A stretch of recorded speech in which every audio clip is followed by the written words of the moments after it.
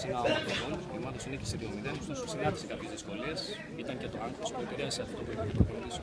Εντάξει, σίγουρα η πρεμιέρα πάντα είναι δύσκολη με όποια ομάδα και να παίζεις. Ε, αυτό που θέλαμε εμείς να ξεκινήσουμε με νίκη. Για ξέρουμε τι είναι, ξέρουμε τι θέλουμε να κάνουμε στο γήπεδο. Θέλουμε μόνο νίκε για να πάμε την ομάδα και πρέπει όσο πιο γρήγορα γίνεται. Η ομάδα σου πιστεύει θα βελτιωθεί παιχνίδι με παιχνίδι. Σίγουρα αυτό εννοείται. Θα κάνουμε αυτό που μας λέει ο προπονητής μας και παιχνίδι με παιχνίδι πιστεύω θα είμαστε πολύ καλύτεροι. Δύο λόγια για τον κόσμο που σήμερα συμπαραστάθηκε πάρα πολύ και θα είναι σίγουρα σε όλα τα παιχνίδια μαζί σας. Εντάξει, ο κόσμος είναι απίστευτος.